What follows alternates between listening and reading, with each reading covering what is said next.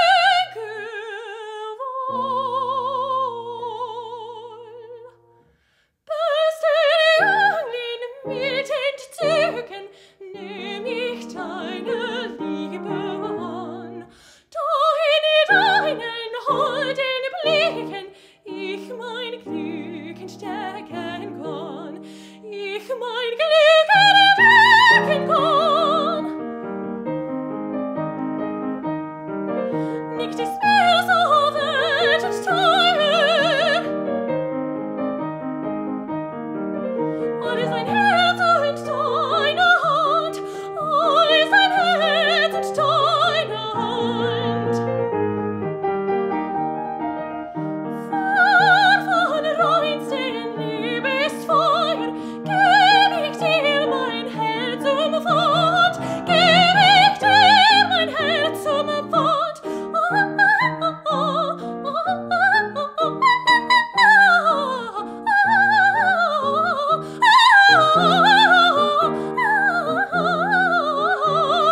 Hey!